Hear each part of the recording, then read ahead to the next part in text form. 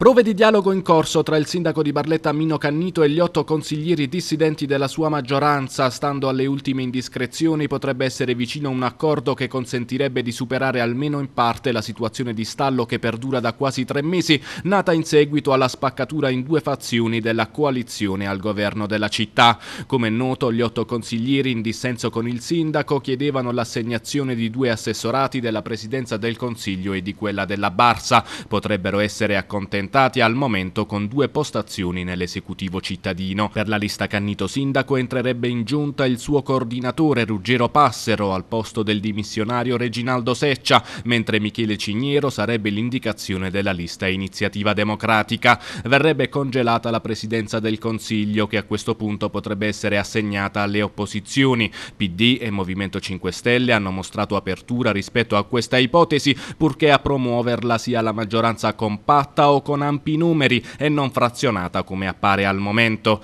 Per riequilibrare la presenza di donne in giunta, Cannito avrebbe chiesto alla consigliere Stella Mille di Forza Barletta di entrare in esecutivo al posto di Giovanni Ceto che le subentrerebbe in consiglio in quanto primo dei non eletti. Se la consigliere Mille dovesse confermare il suo rifiuto, toccherebbe al coordinatore della lista Forza Barletta, il senatore Dario Damiani, trovare un'altra donna da inserire nell'esecutivo. Anche l'assegnazione della presidenza della Barsa viene congelata dal sindaco in attesa che il Consiglio Comunale si esprima sulla possibilità di riaffidare la guida della società ad un Consiglio d'amministrazione eliminando la figura dell'amministratore unico. Per andare avanti ed evitare ulteriori frazionamenti, Cannito ha inoltre chiesto che tutte le liste della maggioranza si esprimano a sostegno del progetto civico che ha portato la coalizione alla vittoria delle elezioni.